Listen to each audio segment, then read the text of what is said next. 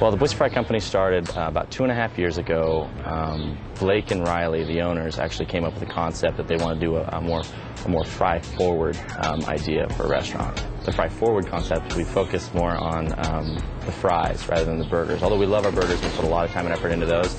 We, we pay particular attention to our fries. What makes Boise Fry Company's fries so unique is that we um, not only would you just have one or two fries or one or two cuts, we have six different potatoes that we cut a variety of different ways.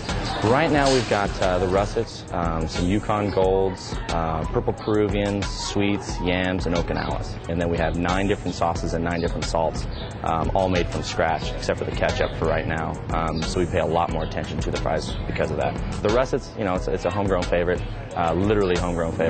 Um, everybody's kind of familiar with them, so we sell a, a, a lot of russets.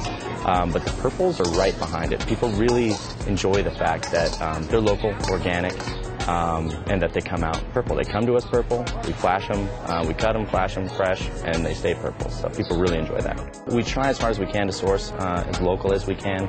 Um, our buns are made fresh every morning. It's an organic whole wheat potato bun uh, from a bakery just down the street. Um, our bison we get from an hour away. Our, our beef is now local. Our vegan we make from scratch every morning, so that's obviously local if we're making it. Um, so we try to source as local as, as, as humanly possible. Um, so yeah, we definitely have an eye on that. We put just as much effort into our burgers as we do our fries, uh, for sure.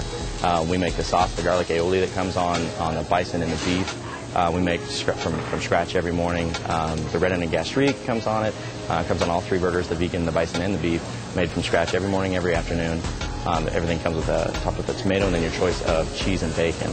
Last year, the Boise Weekly, we were voted uh, the best burger in Boise, which we, take a lot of pride in. We, we, we really like that. Um, we're hoping, hopefully, to get the same thing um, this year. Um, but we put a lot of time and effort into our burgers. Arguably, they're just as good, if not better, than our fries. Uh, for those of you that uh, have never been to the Boise Fry Company, feel free to visit us on uh, boisefrycompany.com um, or swing by the store seven days a week, uh, 11 to 9, at uh, 111 Broadway. For unique fry experience, come on down to the Boise Fry Company.